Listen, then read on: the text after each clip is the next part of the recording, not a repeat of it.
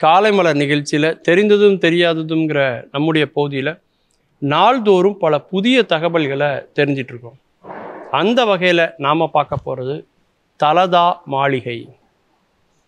இது எங்கே இருக்குது அப்படின்னா இலங்கையில் கண்டியில் இருக்குது இந்த தலதா மாளிகை. கண்டி ராஜ்யத்தினுடைய தலைநகராக ஒரு காலத்தில் இது இருந்தது. இங்கே உள்ள ஒரு மாபெரும் ஒரு மன்னரினுடைய அரண்மனையில் ஒரு பௌத்த மத ஆலயம் ஒன்று உள்ளே நிர்மாணிக்கப்பட்டிருக்கு. அந்த ஆலயம் இருக்கக்கூடிய இந்த இடம்தான் தலதா மாளிகை.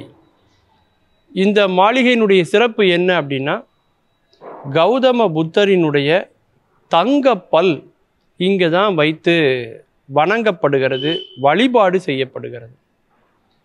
எண்கோண வடிவத்தில் அமைந்திருக்கக்கூடிய இந்த மாளிகையினுடைய வெளிப்புற தோற்றம் அகலிகள் சித்திர வேலைப்பாடுகள் கற்பனையான உருவங்கள் பூக்கள் பறவைகள் செடிகள் போன்றவற்றை பற்றிய அந்த சித்திர வேலைப்பாடுகள் கூடு கூடிய அந்த சுவர்கள் அங்கு உள்ள தூண்கள் ஜன்னல்களில் இருக்கக்கூடிய அந்த மர வேலைப்பாடுகள் இலங்கையில் மிக முக்கியமான ஒரு பௌத்த ஆலயமாக இந்த தலதா மாளிகை விளங்குகிறது.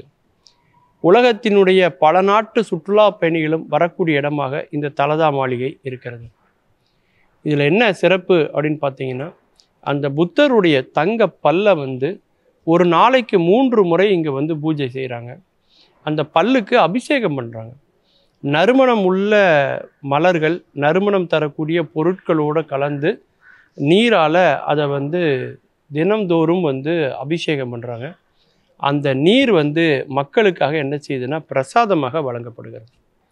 அந்த நீரை அருந்துவதன் மூலமாக பலருடைய நோய்களும் உடல் நோய்களும் மன சம்பந்தப்பட்ட பிரச்சனைகளுக்கும் தீர்வு கிடைப்பதாக நம்பப்படுகிறது. அதனால் இங்கே வரக்கூடிய மக்களுடைய எண்ணிக்கை வந்து அதிகமாயிட்டே இருக்குன்னு சொல்லலாம். புத்தருடைய பல் இந்த இடத்துக்கு எப்போ வந்தது அப்படின்னு பார்த்தீங்கன்னா இரண்டாம் சூரிய சிங்கன் அப்படின்னு சொல்லக்கூடிய ஒரு மன்னர். அதாவது இரண்டாம் ராஜசிங்க மன்னன் அவர் பேர். அவருடைய காலத்தில் அதாவது பதினேழாம் நூற்றாண்டில் வந்து பார்த்திங்கன்னா இந்தியாவிலிருந்து புத்தருடைய பல் வந்து இந்த இடத்துக்கு கொண்டு வரப்பட்டிருக்கு.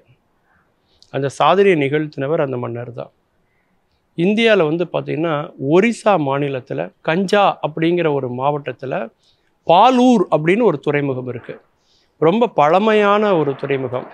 ஒரு ஏரியினுடைய தெற்கு முனையில் இருக்கிற இந்த துறைமுகத்தில் இருந்து தான் புத்தருடைய பல் வந்து இந்த இடத்துக்கு கொண்டு வரப்பட்டிருக்கிறதாக அகல் ஆராய்ச்சி வல்லுநர்கள் வந்து தெரியப்படுத்துகிறாங்க இந்த கோட்டை இந்த மாளிகை போ- போர்ச்சுகீசியர்களால் மிகப்பெரிய அளவில் சூறையாடப்பட்டது. மிகப்பெரிய தாக்குதலுக்கு இந்த கோட்டை வந்து உள்ளானது. மிகப்பெரிய சிதலம் இது அடைந்தது. அதன் பிறகு இதை மீண்டும் வந்து பார்த்தீங்கன்னா இரண்டாம் விமல தர்ம சூரியன் அப்படின்னு சொல்லக்கூடிய ஒரு மன்னர் அவர் தான் இதை மறுபடியும் வந்து புனர் நிர்ணயம் பண்ணுறார் அதன் பிறகு இப்போ நாம் பார்த்து கொண்டிருக்கக்கூடிய இந்த தலதா மாளிகை அப்படிங்கிறது வீர நரேந்திர சிங்கன் அப்படின்னு சொல்லக்கூடிய ஒரு மன்னரால் தான் எழுப்பப்பட்டது மீண்டும். அதிலும் குறிப்பாக வந்து பார்த்தீங்கன்னா இங்கே ஜூலை ஆகஸ்ட் அந்த ஜூன் ஜூலை ஆகஸ்ட் அந்த நேரத்துலலாம் பார்த்தீங்கன்னா இங்கே ஒரு பெரிய புத்த மதத்துக்கான ஒரு விழா வந்து கொண்டாடப்படுது.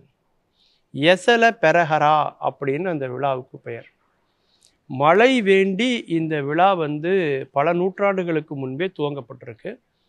அப்படி துவங்கப்பட்ட நாள் எது அப்படின்னா புத்தருடைய பல் வந்து இந்த ஆலயத்துக்கு வந்த நாளை தான் விழாவாக கொண்டாடியிருக்காங்க. நூற்றுக்கணக்கான யானைகள் புடைசூழ புத்தருடைய பல் வந்து இங்கே வந்து சப்பரத்தில் எப்படி நம்ம ஊரில் கோயிலில் சாமியை கொண்டு வருவாங்களோ அந்த மாதிரி சுற்றி பிரவாரம் வழியாக கொண்டு வந்து மிக விமர்சையாக இந்த விழா வந்து ஆண்டுதோறும் கொண்டாடப்பட்டு வருகிறது. புத்தருடைய பல்லுக்கு அவங்க அவ்வளோ முக்கியத்துவம் கொடுக்குறாங்க. உலகம் புத்தருடைய சொல்லுக்கும் மதிப்பு கொடுத்தால் உலகம் அமைதியாகும். புத்தர் வழியில் அமைதி பெறும்.